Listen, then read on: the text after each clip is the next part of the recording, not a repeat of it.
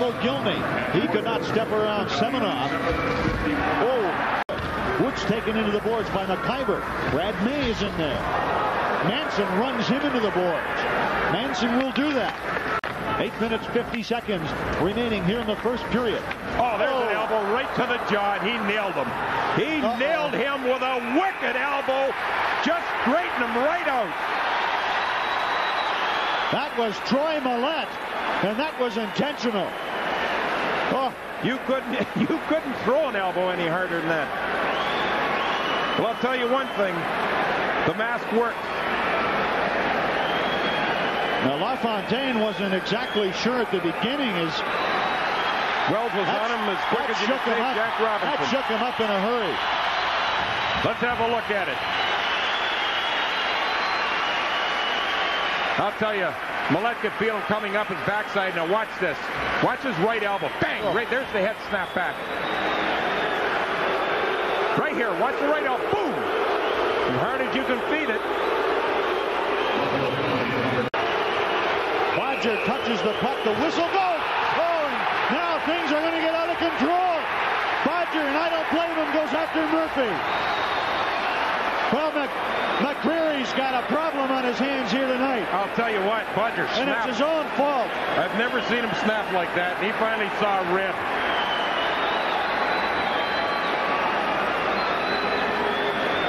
Now, watch right here. The whistle had already blown, by the way and the puck was dead. Everyone had let up a little bit. Right here, the whistle had gone. You can see it just comes in. Now, do you like that, having the feet kick? I'd rather get punched right in the mouth than have the feet kick from underneath me. That's something you don't do in any league. That long pass, you see the Sabres continue to try that. There's a big hit at the line by Brad Miller as he flattens Smith. Gilney, he shoots it, and Ranford turned it aside. LaFontaine took his check into the boards. Watch LaFontaine go into this man right here. That's Muni he nailed. His pile drives him up against the glass. 2.55 remaining here in the second period. Edmonton oh, there's a spear. 4-2. And Tanti is down on the ice and a penalty coming up against the Edmonton Oilers. It's got to be a spearing call. Tanti started pecking away at him a little bit, and Nicholls replied with a little pecking of his own, except the referee noticed it as he nailed Tanti right in the gut.